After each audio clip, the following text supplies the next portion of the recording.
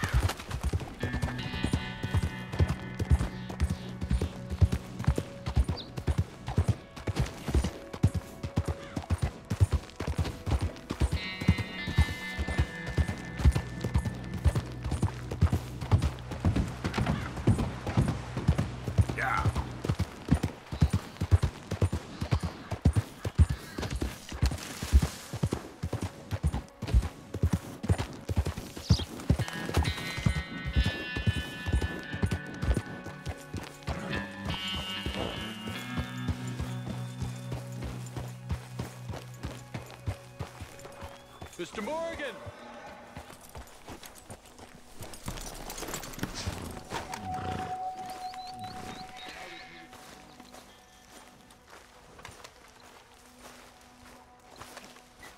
There must be some that aren't evil. Hello. Here I am, as promised. Captain Monroe. Of course. Chief's gone out trying to find medications. Quite a business. Yes. Thought we were through with all this. We are, mostly. Colonel Favors seems to think the natives have broken some promise they never made, and apparently he's punishing them by withholding vaccines sent down by the federal government. Really? I was supposed to oversee the administration of vaccines. Now I hear the wagon's been diverted. Why would he do such a thing? To be honest, I truly don't know. They say he didn't have a very good war, so maybe he's trying to start another one. Is that what you think? I'm trying to find out, and he knows I'm trying to find out. He'd love to provoke me almost as much as he'd love to provoke these poor bastards. Meaning, Meaning that despite the fact that I think he's a horse's ass, he knows I think that. So we're just stuck here trying to make the best of things. this is the best of things. Children dying of diseases. No. This is awful. Where is this wagon? Where can we find it? I can show you. Supposed to be heading to Wapiti after coming up through Valentine, but it's been diverted south instead. Come on, Captain Monroe. Mr. Morgan, we must act with due caution. Oh, we shall. We surely shall. Now come. Okay. I think I know a spot where we should be able to intercept it. Lead the way, Captain.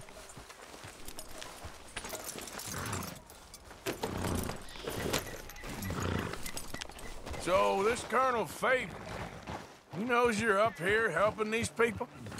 Yes and no. He knows I'm here to produce a report on the situation. I was sent down from the north after all the news of unrest in the region. But I think my presence might be making things worse. What do you mean? I worry he's taking some of these actions more to protect himself now. Can incite more retaliation, maybe he can prove a stronger defense. Well, like destroying that shrine. Yes, and taking their horses. I mean, I don't know if he personally sanctioned any of this or not. This is the other problem. There's a culture now in his regiment. The rot has traveled down the trunk. Okay. Well, just show me where to find this wagon, and I'll get the medicine for you. You don't need to be involved. Thank you, Mr. Morgan. But I must ask you, please be discreet. We really cannot afford more conflict. I'm still hoping a meeting can be arranged between Rains Falls and Colonel Favors. I understand. So I should drop the wagon back at the reservation? Oh, no. No, no, no. You only need to commandeer the vaccines. Stealing those and an army wagon will only make matters much worse. Okay. You know, Favors has many flaws, but I don't believe he's callous. More an insecure man at the end of his career trying to cling on to something that's already gone. He fought for the Union in the war, and his record was considered far from illustrious. A failed man is often the most dangerous.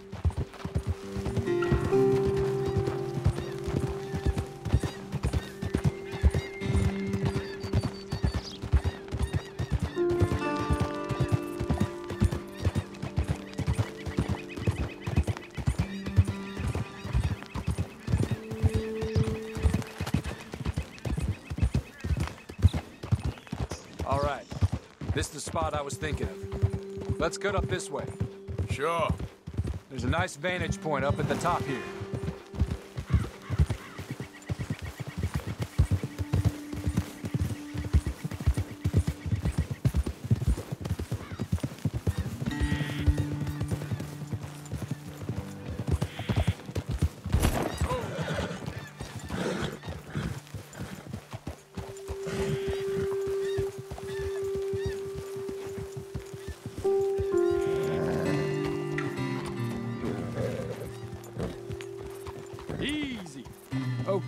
Let's dismount here. Best leave the horses back a bit.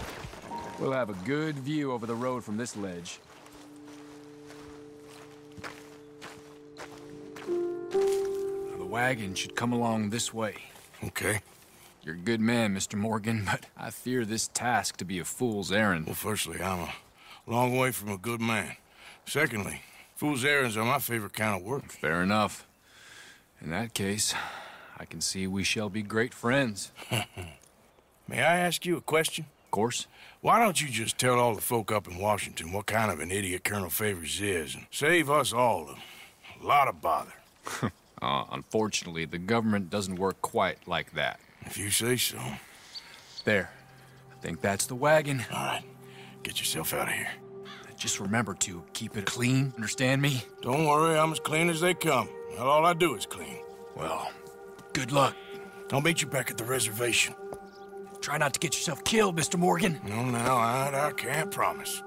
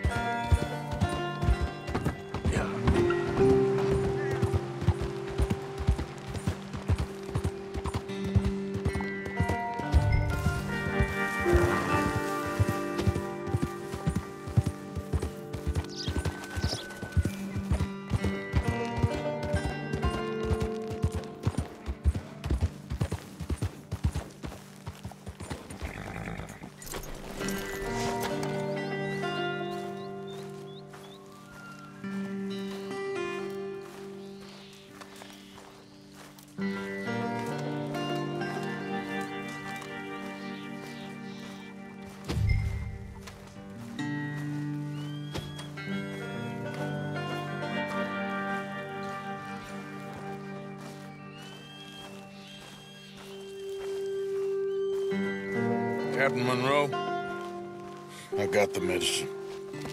Oh, wonderful. That's great news, Mr. Morgan. Yeah, well, don't worry. It, uh, it didn't go too bad. I'll have to take your word for that. We could both swing for this. Yeah, well, I think I'm a little past caring about hanging, Monroe. Maybe. I just hope Colonel Favors thinks he was robbed by bandits and not, Oh, no, I'm still a bandit. There ain't no doubt about that. of course.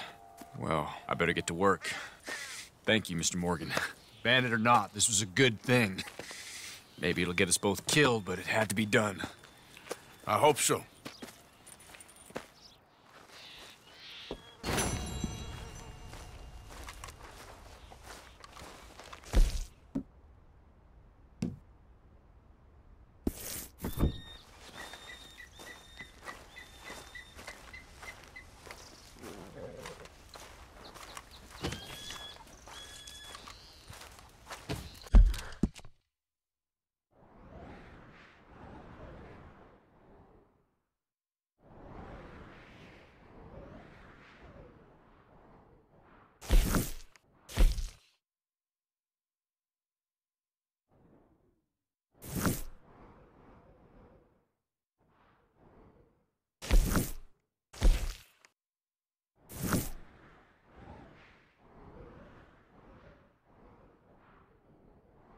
you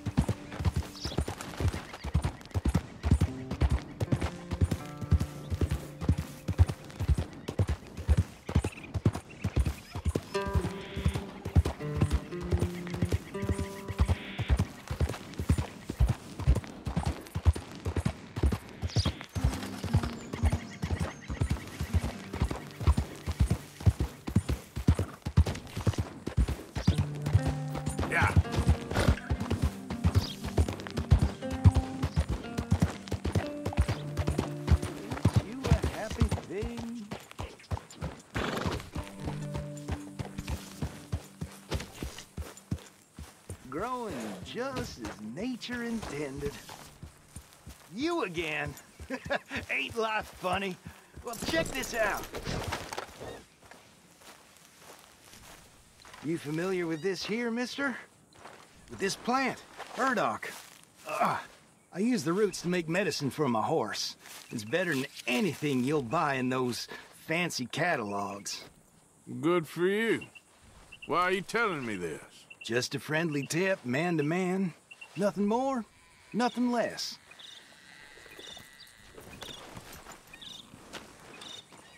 Well, I'm off to see what else I can find out there. Good luck to you.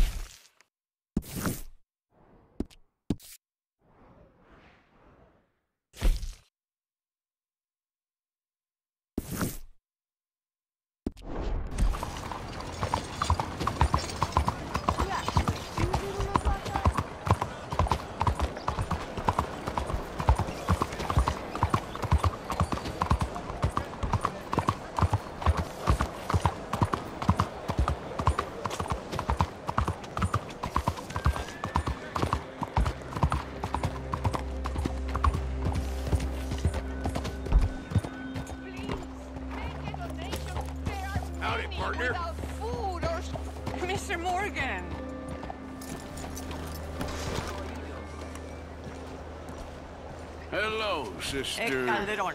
Brother Dorkins and I were talking about you just the other day and hoping we would see you again. How is Brother Dorkins? Oh, he's quite well.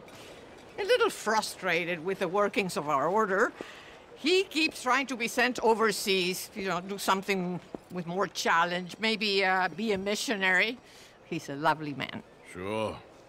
And how are you? Never better? Are you sure? I'm quite sure, sister. You know, a long time ago, I was like you. I very much doubt that. Oh, no, I did terrible things, awful things.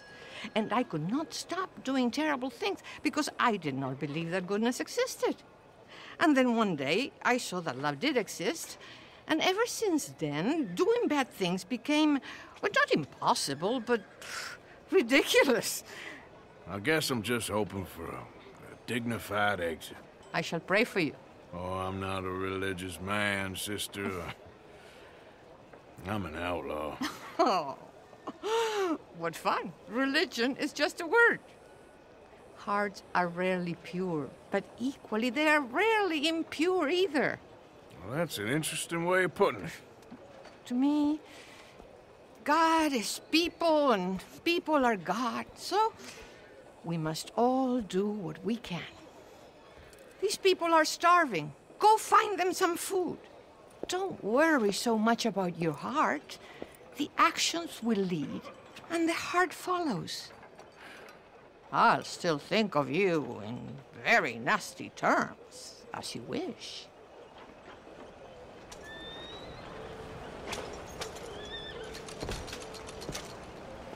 All right, you know what, sister? I've got some money on me right now. You can buy some food with this. Oh, you're so wonderful, Mr. Morgan. No, that ain't true. I meant wonderful, but so very frightening. Exactly.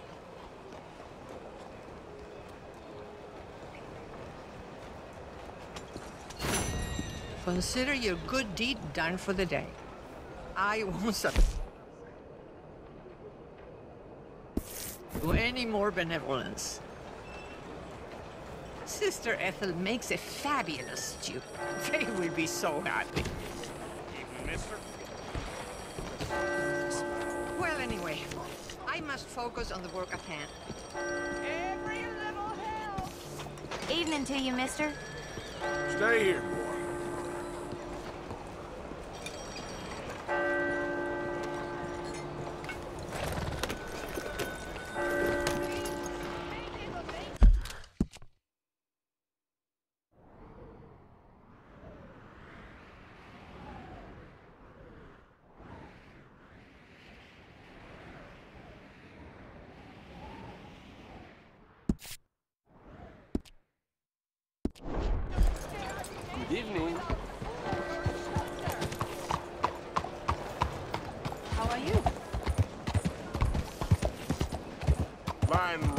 Sons of bitches. Hey, will you help a a fella night, out? Uh, come on. I know you got some money. Get yourself some real food, huh? Listen, you have to take this. Mm, that's real kind of you. I lost my money playing poker. I know where a good game is. Above the gunsmith. Uh, real. Hush, hush. Above the gunsmith, huh? I'll keep that in mind.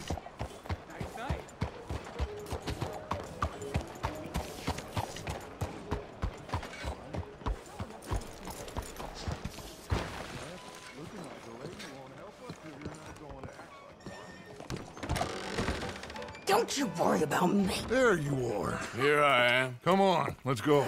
Let's go where? And why are you so riled up? Today is a great day, Arthur. Today is the day they are going to hang Colm O'Driscoll. That's so. Rather they hang him or I shoot him. Oh, they are gonna hang him. Yeah, and not before time. That boy's been on the gallows more than most. I wouldn't count anything until his neck's broke. Well, nor would I. Which is why, despite us being wanted men, we're gonna attend the event ourselves. And follow him onto the scaffold? Well, let's hope not. But if I could see that son of a bitch breathe his last, I think I'd die a happy man. We are gonna disguise ourselves In this? in this.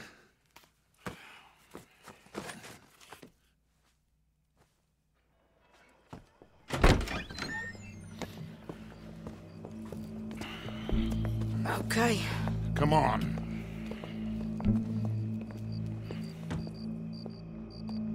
Well, don't we just look the part? We'll cut through the alley to get to the gallows. We keep our weapons holstered, our disguises on, and our wits about us. Mrs. Adler, might I say, being a fancy woman of Saint Denis suits you. I'd dress up like the Queen of Sheba if it meant seeing that son of a bitch swing. Colm hung me up, nearly butchered me. And that don't mean I'm comfortable in this woolen coat. You made it out of that predicament, as I remember, Mr. Morgan. My husband weren't so lucky. You lost your husband. I lost my darling Annabelle. That poor boy Kieran. We've all lost something because of Colm. And that is why we will shepherd him to eternity. Amen to that. Now keep those fingers off those triggers, because we'll need cool heads and calm dispositions to see this done. Practice what you preach, brother. Whatever do you mean? Are you gonna keep your cool? Really? When you seem to lose it all so often now. This doubting and questioning of yours? I miss the old Arthur. Don't we all? You two quit it. Y'all got a job to do, and we're all in rough agreement about how we're doing it. As far as I can tell. Exactly. We'll get it done, all right. All right then. Come on. We got a hanging to witness. Look here. Don't the public love an execution?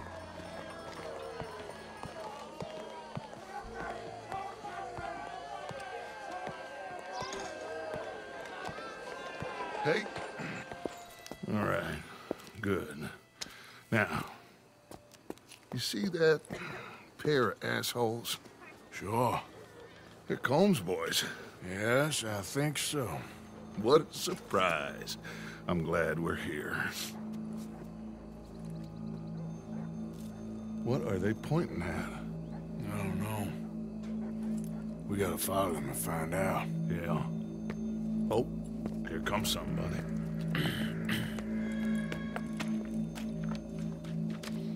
Stay here. Don't do nothing.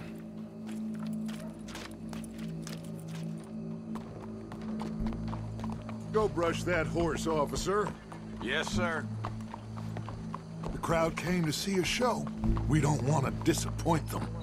I guess they did miss their chance to see John swing by his neck. Hey, hey, you know I wasn't going to let it come to that. I guess I don't know what I know no more. And I guess this isn't the time to question either my decisions or yours. Here and now, Colm O'Driscoll's going to get his due. He's cutting in there.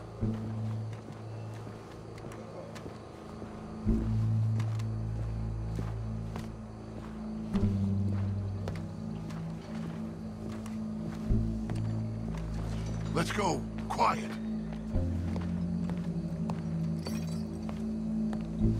What's it look like? Bunch of cops. How many? Enough. So what do you think? All's up on the roof. Once he starts shooting, we have to have our wits about us and move fast. Yeah. I guess we faced worse than this before. Sure. Let's get to it. Yeah. So, they got a guy up on the roof overlooking the gallows. Find a way up there, onto one of these verandas, through a building maybe, and get him. And do it silently. Well, obviously I'm gonna do it silently. I wanna see this bastard swing.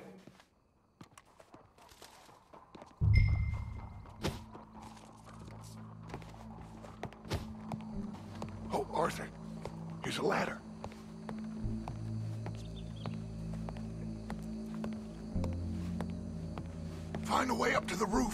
Stop him. I'll go back to Mrs. Adler.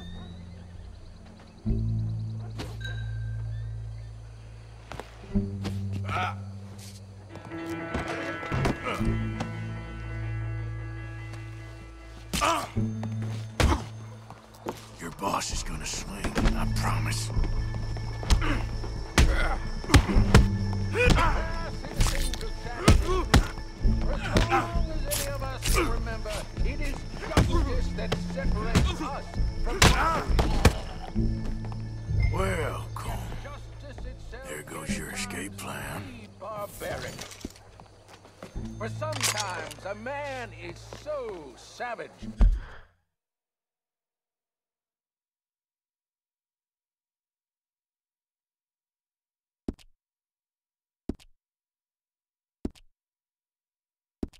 The only way to deal with him justly is by savagery. Colm O'Driscoll is one such man.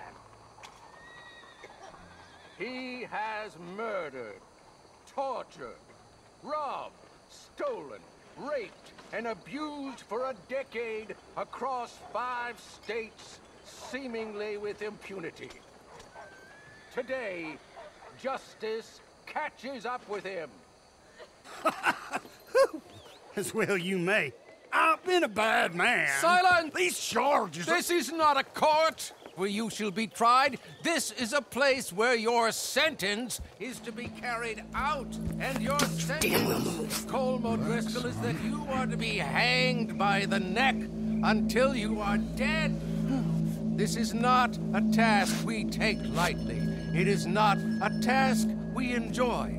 But it is a task we must carry out if our civilization is to prosper.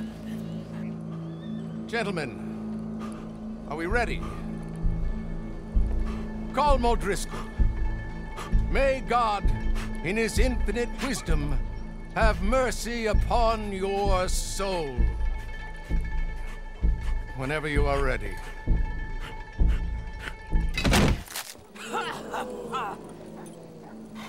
now you know how it feels to watch somebody you love die.